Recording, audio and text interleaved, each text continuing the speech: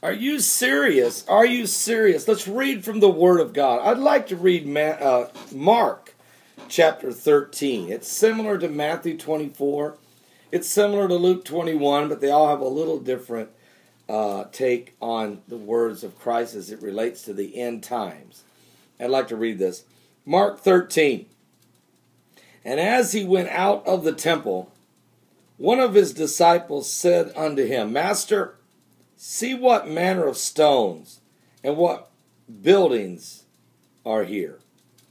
And Jesus answering said unto him, See thou these great buildings?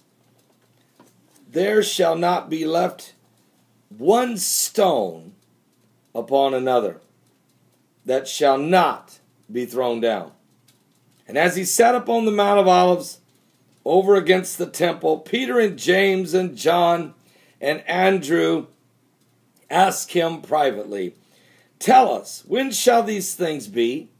And what shall be the sign when all these things shall be fulfilled?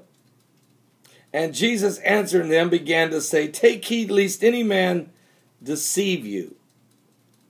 For many shall come in my name, saying, I am Christ, and shall deceive many.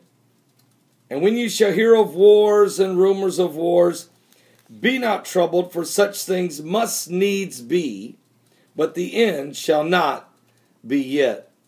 For nation shall rise against nation, and kingdom against kingdom, and there shall be earthquakes in divers places, and there shall be famines and troubles. These are the beginning of sorrows. But take heed to yourselves for they shall deliver you up to the councils and in the synagogues. Ye shall be beaten, and ye shall be brought before rulers and kings for my name's sake, for a testimony against them. And the gospel must first be published among all nations. But when they shall lead you and deliver you up, take no thought beforehand what you shall speak neither do ye premeditate, but whatsoever shall be given you in that hour, that speak ye. For it is not ye that speak, but the Holy Ghost. Now the brother shall betray the brother to death, and the father the son, and the children shall rise up against their parents, and shall cause them to be put to death and ye shall be hated of all men for my name's sake. But he that shall endure unto the end, the same shall be saved. But when ye shall see the abomination of desolation, spoken of by Daniel the prophet, standing where it ought not, let him that understand, readeth, understand. Then let them that be in Judea flee to the mountains. And let him that is on the housetop not go down into the house, neither enter therein to take anything out of his house. And let him that is in the field not turn back again for to take up his garment. But woe to them that are with child, and to them that give suck in those days, and pray that your flight be not in winter. For in those days shall be affliction such as was not from the creation, the beginning of the creation, which God created unto this time, neither shall be. And except that day had shortened those days, except the Lord had shortened those days, excuse me, no flesh should be saved. But for the elect's sake, whom he hath chosen, he hath shortened the days. And then, if any man shall say to you, Lo, here is Christ, or Lo, he is there, believe him not. For false Christ and false prophets shall rise and shall show signs and wonders to seduce, if it were possible, even the elect. But take ye heed, behold, I have foretold you all things.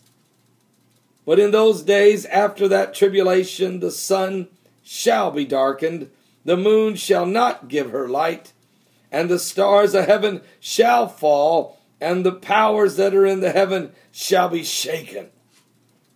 And then shall they see the Son of Man coming in a clouds with great power and glory.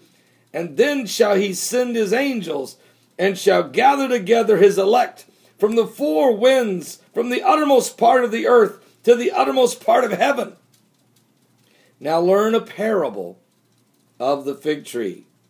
When her branch is yet tender and putteth forth leaves, you know that summer is near.